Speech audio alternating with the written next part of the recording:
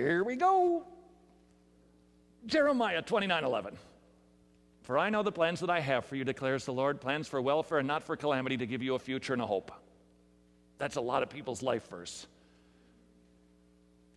Then it wasn't written for you, it was written to people in captivity to know that God is going to rescue them. So hang in there. I know exactly what I'm going to do with you.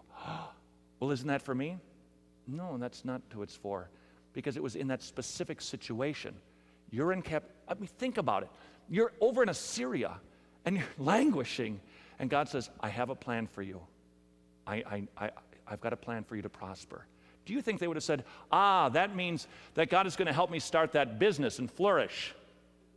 No. They would have simply understood it. God is going to rescue us. No. Does God have a plan? Well, go find another verse, but not this one. And it's funny that people use this one for their life verse, but they don't look a few verses down to say verse 17 and say, I want this one.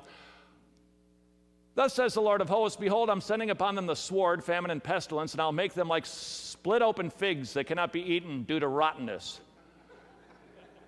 Nobody takes that verse. Why? Because it wasn't written to you. He's not going to do that. He was going to do so we can't apply it to ourselves when it was just written to those people. If we understand it beyond what the original audience would have, we've done it wrong.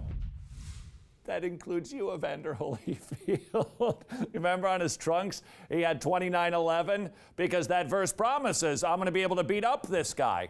I even heard people talk about this in athletic competitions in the Olympics. Hey, God has a plan to prosper me, and I can do all things through Christ who strengthens me. Really?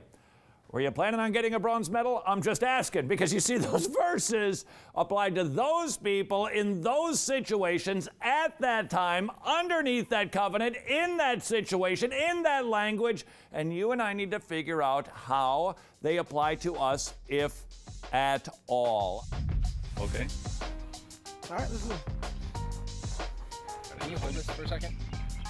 Don't get your water from the trough. Now, actually, tell me how it tastes. And the preaching is unbelievable. Best of all, if you attend the Psalm 119 conference, you will love Jesus more. You gotta go. Get your tickets. What are you doing? At wretched.tv. Doing the spot. What are you doing? What are you doing?